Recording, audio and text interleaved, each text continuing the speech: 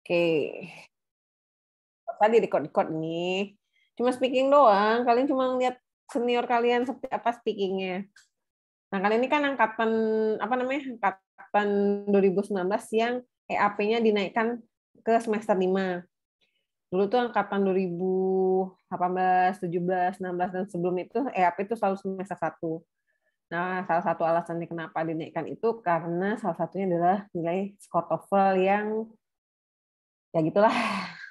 Jadi kalau misalnya kemarin kan coba ya TOEFL itu uh, structure and uh, written expression seperti apa. Kemudian ada yang listeningnya seperti apa, listening yang tapi kita praktis cuma listening yang bagian untuk uh, ini kan ya listening yang untuk uh, IELTS-nya dan ada readingnya.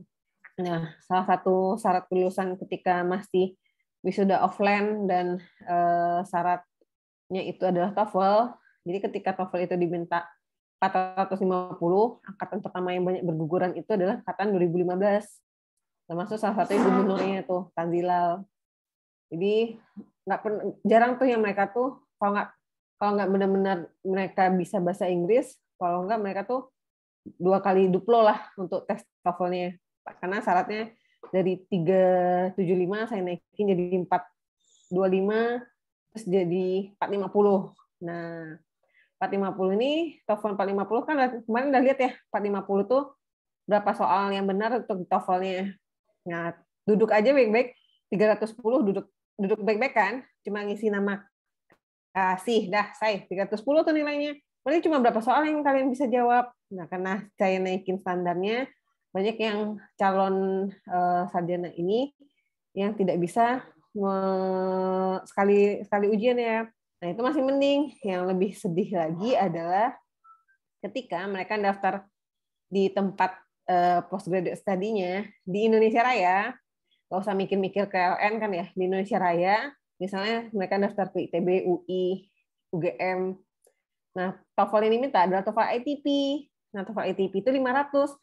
PBT sama prediction test TOEFL itu beda. Prediction itu lebih lower tuh quality soalnya. Nah, ITP itu soalnya selalu baru.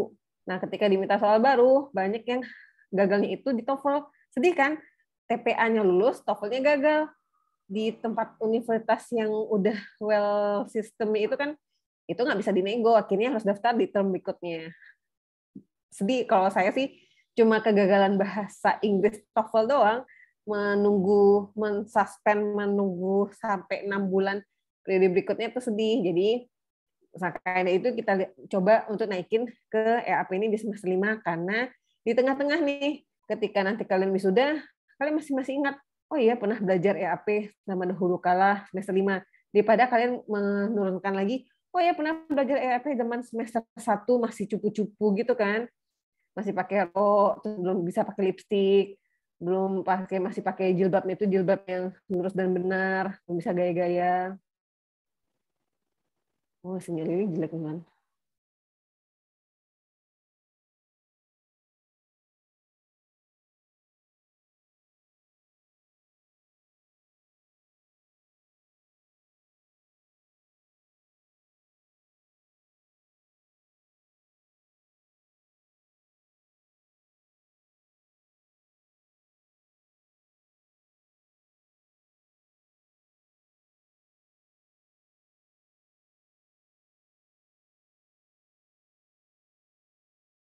Sorry ya, tadi keputus karena wifi-nya jelek di bawah. Nah, tadi sampai mana ya? Sampai yang itu misalnya yang daftar ke ITB, UGM, sama UI itu karena diminta itu rata-rata ada TOEFL ITP, pas di tes itu nggak bisa, jadi kita coba menaruhkan EAP itu di tengah-tengah. Setidaknya kalian tidak terlalu mengerok ke bawah. Nah, apa satu lagi tuh, kenapa ditaruh semester 5 itu karena pas kalian nulis skripsi, semester 7 atau semester 8, yang paling menyedihkan itu adalah ketika bikin abstrak. Abstrak ini kan dua bahasa kan ya, bahasa Indonesia dan bahasa Inggris. Dan yang paling, me, kalau saya sih bukan menyedihkan, tapi paling kesel itu udah umur bukan udah di semester 8, udah pernah belajar bahasa Inggris dari SD sampai kuliah, pas menentukan titik koma suatu angka itu masih salah-salah. Misalnya nih 98,25. Nah, 98,25 tuh di bahasa Inggrisnya tetap ditulis 98,25 titik koma angkanya masih jadi jadi catatan besar gitu. Nah, makanya kemarin tuh dicoba tuh kalian latihan yang bagian writingnya. Walaupun writing itu tidak berkoma, tapi setidaknya pas angka-angkanya kalian harus paham. Ini kalau misalnya uh, letaknya angka, terus lagi ada writing itu kan yang kalian bikin uh, apa sih namanya writing task one IELTS itu sebenarnya kan tuh mirip-mirip seperti kalian bikin abstrak tuh. Harusnya kalian bisa pakai conjunction dan lain-lainnya. Jadi ketika bikin abstrak ini lebih ini lebih komprehensif bikinnya dibandingkan cuma melaporkannya. Nah, terakhir itu kompetensi yang diminta itu adalah kompetensi bahasa Inggris. Kompetensi bahasa Inggris ini buat kalian jadi uh, scholarship hunter. Scholarship hunter itu berarti targetnya bukan dalam negeri lagi kan ya, targetnya udah luar negeri. Nah, targetnya luar negeri itu supaya bagaimana meyakinkan si uh, yang menerima kalian itu, kalian itu mampu bahasa uh, mampu berjuang dan hidup di luar negeri dan lulus lulus ya target luar negeri kan lulus lulus sekolah itu ya kalian harus bisa melihatkan proficiency in English. Nah, makanya sekarang tuh dicoba melihat apakah di semester lima ini kalian punya proficiency di bahasa Inggrisnya atau tidak. Nah, kita lihat ya kakak-kakak kelasnya dulu udah pernah ini semester satu loh mereka semester satu mereka itu saya minta untuk presentasi presentasi uh, tentang beda-beda sih ada angkatannya itu saya minta tentang mata kuliah ada tentang uh, perbandingan farmasi Unan dengan uh, farmasi uh, yang lainnya. Ada tentang apa lagi ya waktu itu saya minta mereka. Jadi topik itu macam-macam. Nah, sekarang ini topik yang kelas A itu udah ada secondary metabolite. Nah, kalau kalian tuh topiknya apa nanti kita lihat. Ini kita lihat dulu seperti apa tampilan kakak-kakak kelas kalian. Ini ada videonya. Saya nggak kenal nih awalnya sama mereka waktu semester satu. Semester satu kan kenal itu karena saya tahu di di tengah-tengah saya nggak terlalu hafal pas dua semester dua tiga baru kenal oh ini ada Dini ada si Imen dan ada mantan gubernur BEM nah seperti apa presentasinya? Ini presentasinya saya minta 10 menit maksimal 10 menit maksimal 10 slide dan harus merata di setiap anggotanya di rata-rata anggota itu tampil tiga menit dan kalian lihat ya presentasi mereka itu, mereka tuh hanya melihat sedikit ke slide-nya, tidak membacakan. are always delivered to our Prophet Muhammad Sallallahu Alaihi Wasallam, has brought us uh, from the darkness into the brightness, from the stupidity era into the cleverness era, from Jahiliyah into Islamia like we call today. Uh, the Honorable, to our lecturer, Ms. Lily Vidyani, and to all my audience. Well, today we would like uh, to we would like present our material about clinical pharmacokinetic. This is one of our uh, lesson in major pharmacy. Uh, uh, first, let me introduce myself. My name is Rahmadini. My partner are Indah Mentari and Fitrah Ramadan. And the first material will be presented by myself. Uh, what is pharmacokinetic? Pharmacokinetic is a process of a medicine in our body It can be like absorption, distribution, metabolism, and excretion. Uh, to get an effect which one, a medicine should be able to, to, to reach the place for working. For example, is an antibiotic for against the, the kidney. The antibiotic should be uh, able to reach the kidney to kill the bacteria which infected the kidney. And the journey of the antibiotic we call it uh, pharmacokinetic. Uh, pharmacokinetic consists of four processes. Uh, first is absorption. Absorption is a process of entering the medicine to systemic circulation. It depends how the medicine give. It can be like an injection or just an oral way. Then distribution. Distribution is a process of taking taking the medicine from the systemic circulation to the our cells. Then metabolism. Metabolism is a process of our body to, to change the composition of the medicine to in order to, to, get, to be a good, effect to our body. Then excretion. Excretion is, means uh, a removal to, uh, in our body to something uh, useless in our body. The, the second material will be presented by Indah Mentari. Indah Mentari Takeshi.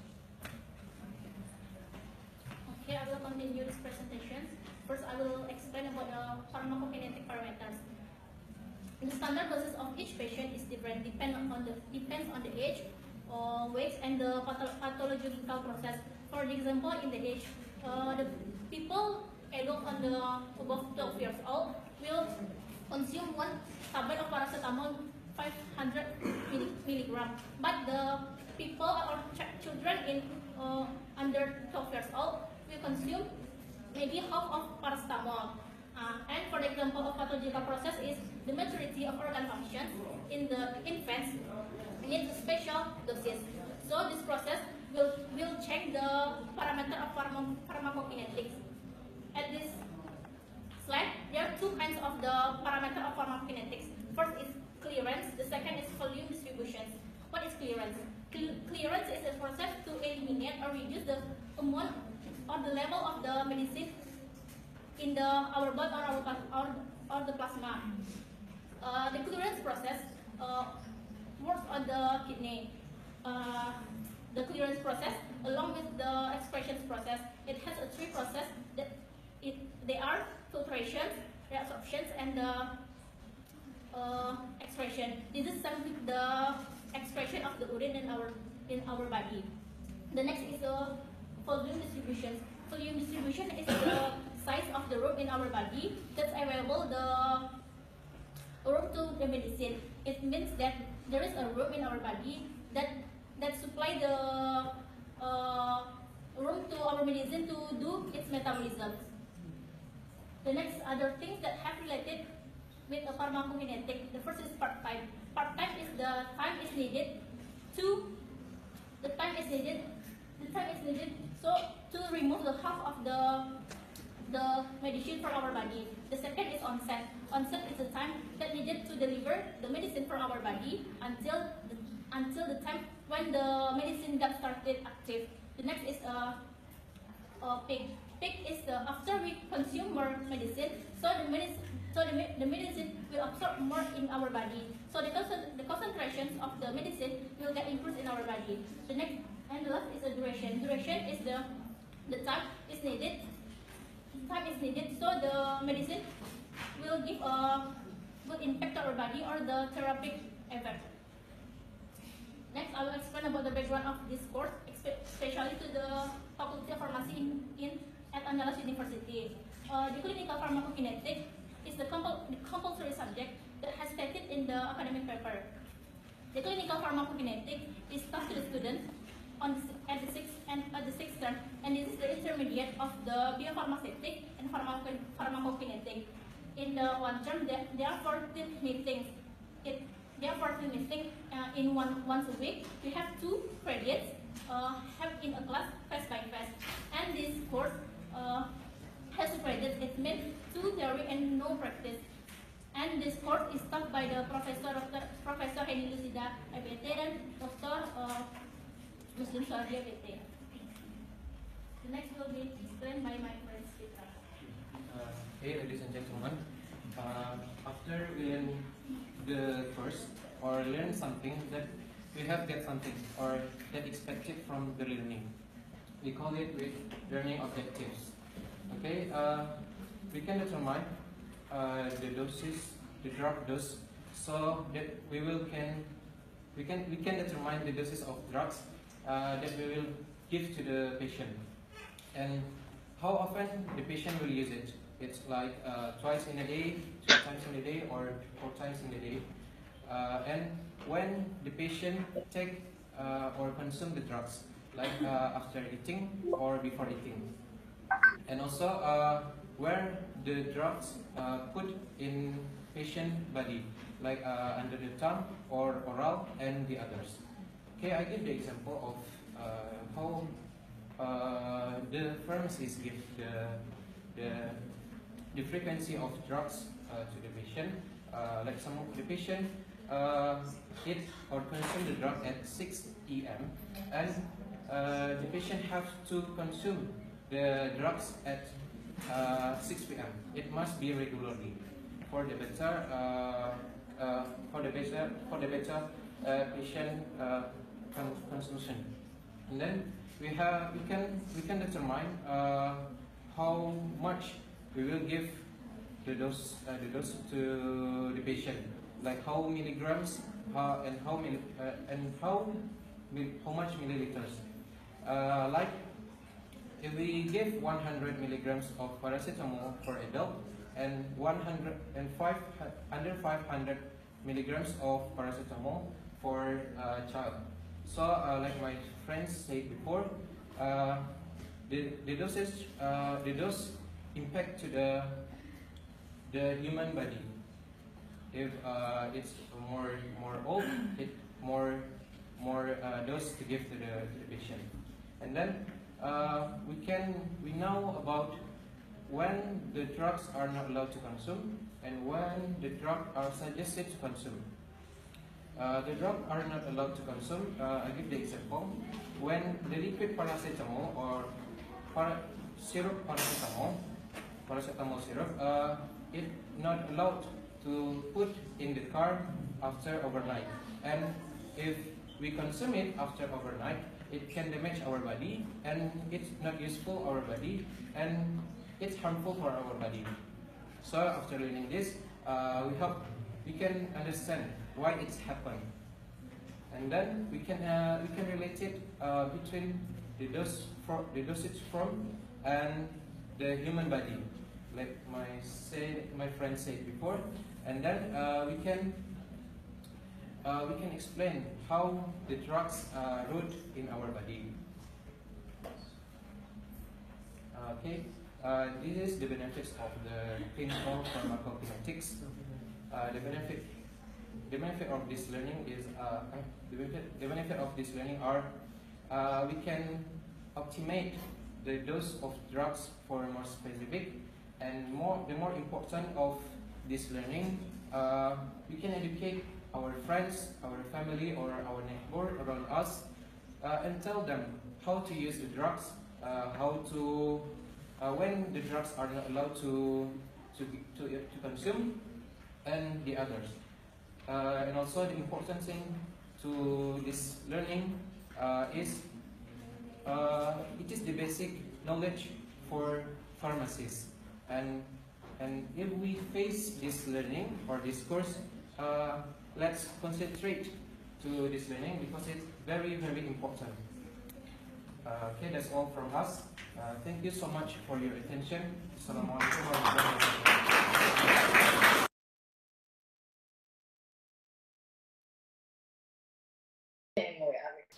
Kita lihat ya yang contohnya tuh yang AP-nya. Nah, untuk kalian itu kalian cuma cukup tampil 3 menit per orang, bukan per kelompok, 3 menit per orang dengan topiknya adalah API, Active Pharmaceutical Ingredient. Dan setiap orang harus berbeda. Ini kan satu kelas itu sampai kalian tuh 60-an berapa orang ya. Ini misalnya si Serina ini tentang paling gampang nih ibuprofen, terus mau Lydia tentang parastamol. Nah, apa yang ditampilkan? Boleh monografinya, boleh yang uh, pharmacological efeknya, bentuk sediaan yang tersedia di pasaran, dosisnya, efek sampingnya, dan lain-lainnya yang bisa kalian terangkan dalam waktu tiga menit saja. Dah, jangan lebih ya, karena saya cuma bikin presentasi itu sama seperti presentasi satu lagi deh, saya liatin yang punya Astika. Nah, Astika ini dia presentasi ketika saya minta dia hadir di seminar internasional di USU tahun 2000 2020 yang lalu. Jadi Asika ini eh, lagi memang dia well prepare ya. Ketika dia well prepare itu dia bisa jadi second atau third best presenter gitu deh. Saya lupa. Pokoknya salah satu presenter terbaik untuk tampilan poster. Nah, kita lihat. Nah, tampilnya cuma tiga menit Astika ini. Bentar, saya salah. Oke. Good morning, panelists and everyone. I'm Astika from the Department of Pharmaceutics, Andalas University. Together with my supervisors, Mrs. Lily and Professor Erizal, we would like to present our research poster with the title Preparation of Multi-Component Crystal of Curcumin and Quercetin. Our research was funded by Grant Research 2020 of Andalas University. As we know that the curcumin that has been isolated from turmeric has so many pharmacological activities such as antidiabetic, anti-inflammatory, antioxidant, and other things. But in another side, the physicochemical properties of curcumin show that the curcumin has low water solubility, unstable in alkaline condition, and low bioavailability. So it impact to the clinical use of the curcumin that's still limited nowadays. So in this research, we propose an approach to apply the multi-component crystal of the multi-component crystal that has so many advantages, such as can improve the solubility, stability, powder compaction, and bioavailability. Quercetin is selected to form the multi-component crystal with the curcumin, and the quercetin is also known as the natural bioenhancers. The of the absorption, the absorption, the multi-component crystal. The solubility of curcumin is 93.93 milligram per 100 milliliters, and the solubility of multi-component crystal is 124.28 milligram per 100 milliliters. So we can conclude that the multi-compound crystal of curcumin and quercetin show the higher solubility than the intact curcumin. So that's all my presentation. Thank you very much. Nah, sekitar segitulah tiga menitan Asika untuk presentasi ini. Kalau Asika ini presentasi tentang penelitiannya dia. Jadi lebih paham di apa yang sudah dikerjakannya, terus dilaporkannya di eh, seminar ilmiah internasional. Nah, tugas kalian sama sama Astika bikin entah kalian mau bikin poster atau mau bikin PPT kalau lebih gampang bikin PPT silahkan dibikin PowerPoint-nya tapi jangan banyak-banyak ya karena kelas A itu saya lihat tuh bikin PowerPoint sampai 10 slide padahal yang tampil cuma tiga menit kalau tiga menit itu ya kira-kira sekitar tiga slide lah satu slide satu menit gitu ya nah ditampilkan juga wajah kaliannya jadi saya lihat kalian presentasi itu ada wajahnya dan ada materialnya Paham ya? Seperti yang ditampilkan sama Astika tadi tuh. Nah, dikumpulkan kapan? Maximum next week, silahkan di-upload di Google Drive-nya. Pastikan Google Drive-nya itu bisa saya akses. Sama seperti kelas A itu, saya dikasih akses link Google Drive, jadi saya udah beberapa bagian tuh saya udah lihat ada yang cuma membacakan dengan saya terkantuk-kantuk bacanya gitu ya hanya membacakan nggak ada passionnya jadi kan beda ya yang present saya kasih contoh yang presenter itu presenternya itu pada passion gitu untuk menceritakan apa yang mau ditampilkannya. Nah, coba nanti kelas B ini lebih berimprove dibandingkan kelas A yang sudah mengumpulkan adalah ada semangatnya kalian yang kayak orang kurang tidur dan kurang makan ya. Jadi ketika menampilkan itu tampilkanlah dengan semangat 45 kalau kalian akan menceritakan tentang active pharmaceutical ingredient masing-masing.